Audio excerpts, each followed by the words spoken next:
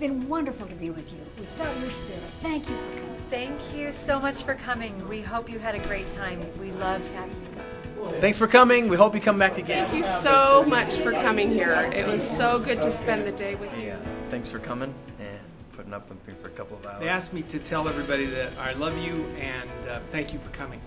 Um, and I think the very best way to do that is something like this about this.